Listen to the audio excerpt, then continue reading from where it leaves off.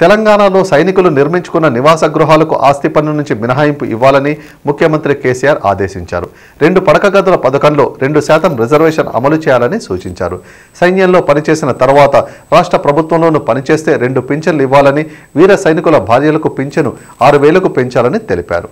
కొత్తగా ఏర్పాట్లైన జిల్లాలోనూ సైనిక సంక్షేమ బోర్డులను ఏర్పాటు చేయాలని ఆదేశించారు. మెదక్ ఆదిలాబాద్ జిల్లాలో సైనిక సంక్షేమ కార్యాలయాల నిర్మాణానికి చర్యలు తీసుకోవాలన్నారు.